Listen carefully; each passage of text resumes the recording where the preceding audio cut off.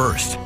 Welcome back for tonight's KX conversation. We're talking about something that is often spoken about, but not so often understood. We're talking, of course, about inflation. And joining us tonight is Dr. James Caton.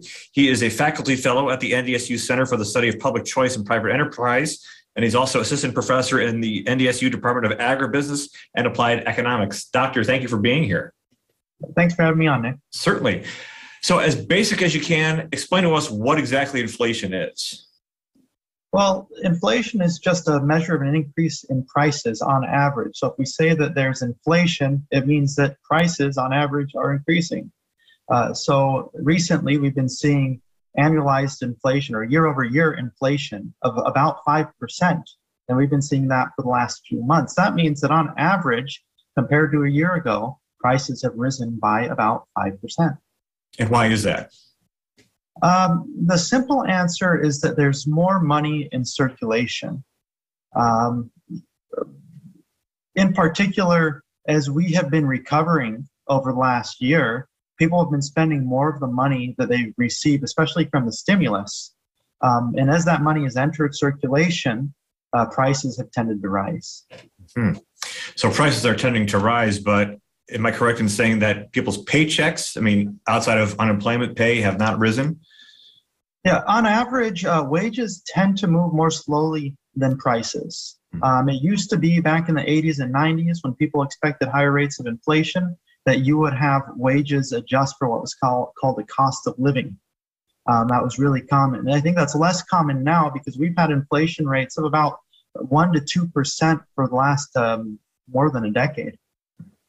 Now, is this inflation that we're seeing now on par with in previous years, or is it above? Where are we? Yeah, you got to ask. Well, in the short run or in the long run?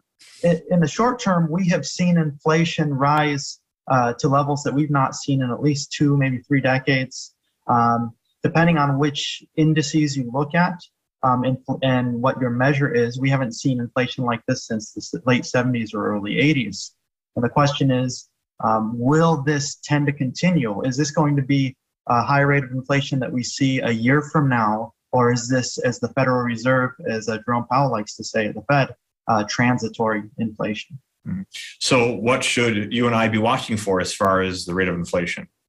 Um, I would keep an eye on interest rates. Um, interest rates tend to be very responsive to inflation expectations. And what we've seen in long term rates so far is that um, inflation expectations are around 2.5%, depending on what measure you look at. If we start seeing interest rates rise and the inflation expectations uh, that are linked to those interest rates rise, um, then that means that people are thinking that this is going to be a longer term uh, event. Hmm. So it, let's say we go from two and a half to three and a half, from three and a half to four and a half.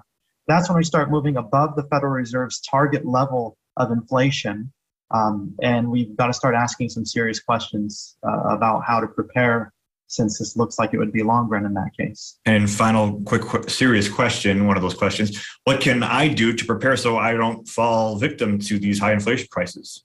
Well, if you're suffering from inflation, the only way you're really suffering is if you're holding dollars as your savings. So um, it's always wise to, to save enough cash on hand uh, to handle emergencies. Uh, but to have the rest of your savings allocated among different assets, whether we're talking about um, stocks, uh, whether we're talking about maybe people invest in their home, um, different hard assets, different, um, you call them equities, um, some, something that's not just dollars.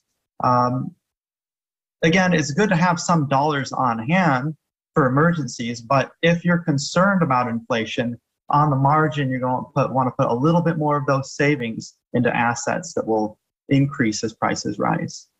Dr. James Caton, thanks for your time. We appreciate it. Great. Thank you.